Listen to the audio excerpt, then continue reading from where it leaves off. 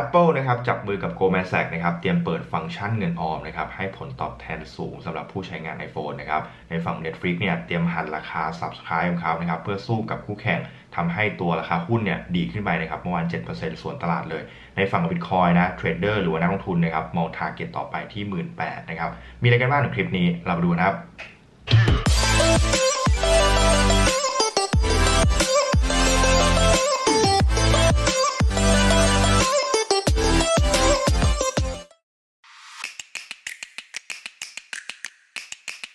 และสปอนเซอร์ในคลิปนี้นะครับสนับสนุนโดย BitGet ครับ BitGet นะครับเป็น Cryptocurrency Exchange นะครับที่ใหญ่อันดับต้นๆของโลกเลยนะครับตอนนี้นะครับเขามีแคมเปญ Trade Spot บน BitGet ฟรีไม่เสียค่าธรรมเนียมนะครับแล้วก็มี Trading Tournament แคมเปญด้วยนะ ที่ค้นหาเทรดเดอร์นะครับที่เป็นมืออาชีพนะครับลุ้นรับรางวัลเนี่ย300 USDT เลยนะครับแล้วแคมเปญอื่นนะครับไม่ว่าจะเป็นยิ่งเทรดมากยิ่งได้มากบน BitGet นะครับแล้วก็จะมีฟังก์ชันเกี่ยวกับ Finance เนาะพวก Launch Pad Launch Pool นะครับที่มี APY ที่ค่อนข้างดีเลยครับ สวัสดีครับ ผมก๊อฟลองทุนนะครับ ก่อนอื่นอยากขอเพื่อนกดไลค์กด subscribe กับทางช่อง YouTube ลองทุนนิดนึงนะครับ จะได้เป็นกำลังใจให้กับทีมงานของเรา และตอนนี้นะครับเรามีฟังก์ชันของ supporter แล้วก็ลองทุน exclusive นะครับ เพื่อนๆที่อยากสนับสนุนเราและดูรายละเอียดความรู้เกี่ยวกับเทคนิคทางด้านคริปโตเคอเรนซีเพิ่มเติม สามารถดูรายละเอียดในลิงก์ด้านล่างได้เลยครับ นอกจากนั้นนะครับเรายังมีกลุ่ม Open Chat นะครับที่มา sharing ความรู้นะแล้วก็มีข่าวสารต่างๆนะครับให้กับเพื่อนๆหลายๆกลุ่มเลย ไม่ว่าจะเป็นกลุ่มของลองทุนนะครับแล้วกลุ่มอื่นๆด้วยนะครับที่พูดเกี่ยวกับถึง Master Trader พูดถึงเรื่องการเทรดนะครับเพื่อนๆสามารถเข้ามาพูดคุยและเปลี่ยนความรู้กันได้ครับแล้วก่อนที่เริ่มที่ข่าวแรกนะครับ ผมอยากจะอัปเดตตลาดภาพรวมนะครับเมื่อคืนนี้นะหลังจากที่ดาวโจนส์นะครับขึ้นไปเทสตัวแนวต้านของเขานะแถวประมาณ 34,000นะครับแล้วก็โดนตบลงมานะครับตอนนี้ลบไป 400 จุดเลยนะครับ ในฝั่ง NASDAQ นะครับเมื่อคืนก็ลบไป 3%นะครับในฝั่งของทองคำนะก็โดนเทขายมาเหมือนกันนะครับหลายคนมองว่าทองคำเป็นทรัพย์สินที่ค่อนข้างเสี่ยงนะก็มีการสวิงของตัวดัชนี หรือว่าตัวระดับราคาตอนนี้เหมือนกันนะครับลงมาจ่อตัว1,620นะครับช่วงประมาณดึกๆนะเมื่อคืนนะครับก็โดนเบรกลงมาเหมือนกันนะครับ DXY นะครับ DXY ขึ้นไปจ่อไฮนะอีกครั้งหนึ่งนะครับก็คือตัวไฮเก่าแถวประมาณ114นะหลังจากที่มีการ ปรับตัวลงมาก่อนอันนี้นะเมื่อวาน และหลายๆคนนะครับคิดว่าเงินเนี่ยน่าจะโฟกลับมาที่ทรัพย์สินเสี่ยงละแต่ก็มีการโฟกลับไปที่ดอลลาร์เหมือนเดิมนะครับในฝั่ง US oil นะครับก็คือตัวน้ำมันเนาะก็ถูกเทขายออกมาเหมือนกันนะครับเมื่อคืนลบไป 4%เลยนะครับสำหรับน้ำมันก็ลงมาเล่นแถวๆโซน75 นะด้านล่างนะครับที่เป็นแนวรับจนถึงประมาณ 88 นะครับที่เรามองไว้ว่ามันเคยเบรกขึ้นไปนะครับน่าจะมีสัญญาณการเบรกหลอกเกิดขึ้นนะครับในฝั่งของ BTC มือนกันเลยนะครับ BC เนี่ยมีการเบรกตัวสามเหลี่ยมนะครับที่เราได้มีการตีไว้นะครับแล้วก็ได้ไลน์พูดคุยกับเพื่อนเมื่อวานนะตอนที่มันเบรกขึ้นไปว่าสัญญาณตรงนี้มันหลอกหรือเปล่าวะนะครับแต่จริงแล้วเนี่ยถูกกดลงมาเลยนะครับช่วงเมื่อคืนนะกดลงมาค่อนข้างหนักนะครับหลังจากที่ดาวโจนส์เนี่ย drop ลงมาด้วยนะครับก็เลยทำให้ทรัพย์สินอื่นๆเนี่ย drop ลงมาหมดเลยนะครับในฝั่ง ETH เป็นไงบ้างนะครับ ETS ดรอปลงมานะแต่ก็ไม่ค่อยรุนแรงนะครับเท่ากับ BTC นะครับเหมือนในรอบนี้ ETS จะมีแรงที่ ค่อนข้างไปรับค่อนข้างสูงกว่า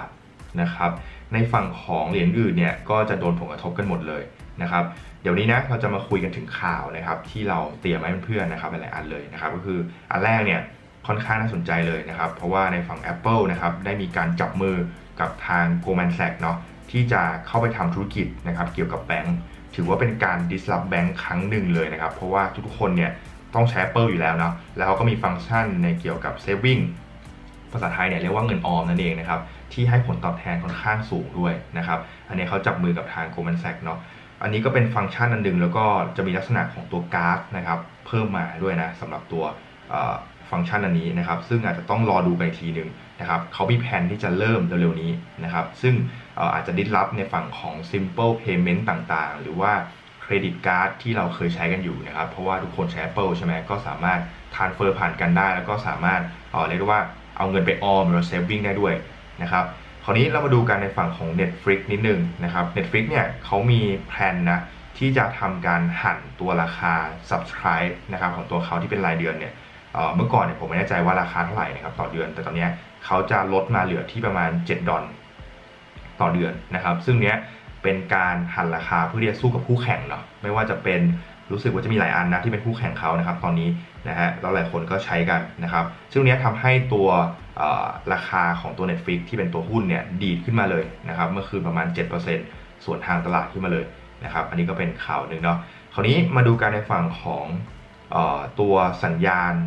แบร์ฮักนิดนึง ตอนแรกผมคิดว่าเป็นช่อง YouTube ในในไทยเนาะแต่มีชื่อเรียกอีกอันหนึ่งนะครับ ก็คือแบร์แทรปก็คือเป็นสัญญาณเหมือน หลอกที่จะจับหมีอะไรเงี้ยนะครับ แต่จริงแล้วเนี่ยตลาดเนี่ยยังเป็นลักษณะของอการปรับตัวอทิศทางลงอยู่นะครับ ทางฝั่งของ Bank of America เนาะเขาก็ได้ออกมาพูดนะครับ ว่าสัญญาณตรงเนี้ยมันยังไม่ได้เป็นการดีดตัวจริงๆนะครับ แต่เป็นมันเป็นสัญญาณหลอกนะครับ หรือว่าเขาเรียกว่าแบร์ฮักนั่นเองนะครับ อันนี้ก็ฟังดูแปลกๆนิดนึงนะ ซึ่งเขาบอกว่าการปรับตัวลงในครั้งนี้เนี่ยมันจะไปสิ้นสุดเนาะในช่วงปี 2023 ปลายปีนะครับ อันนี้น่าสนใจมากๆ เพราะว่า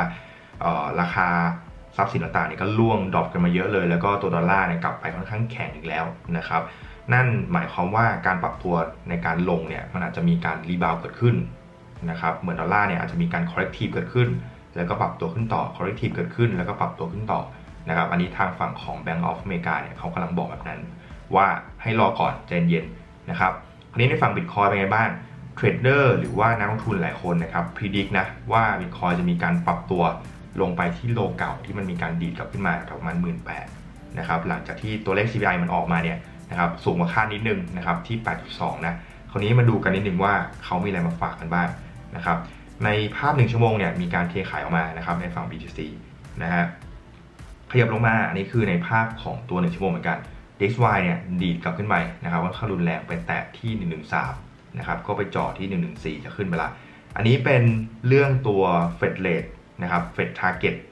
ความน่าจะเป็นนะที่เฟดเนี่ยจะมีการปรับขึ้นดอกหลังจากนี้หลายๆคนมองประมาณ 90%เลย ว่าจะมีการปรับขึ้นดอก คราวนี้ พอมองแบบนี้ปุ๊บอะ direction ตลาดมาเลยเป็นลักษณะของการปรับตัวเป็นเทรนขาลงต่อนะครับก็อาจจะยังไม่มีการ rebound ที่รุนแรง หรือว่าตัวเปอร์เซ็นต์พวกนี้ถ้ามีการปรับขึ้นมาว่าอาจจะขึ้นน้อยๆอะไรเงี้ยน่าจะมี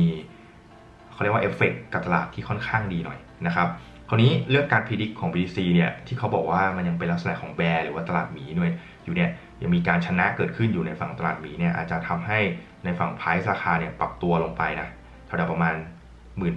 ต้นๆได้ก็คือตัวไส้เทียนนะครับที่ลงไปเทสเขาก่อนนะครับแล้วก็อันนี้รู้สึกว่าจะเป็น BTC เทียบกับ USD เนาะ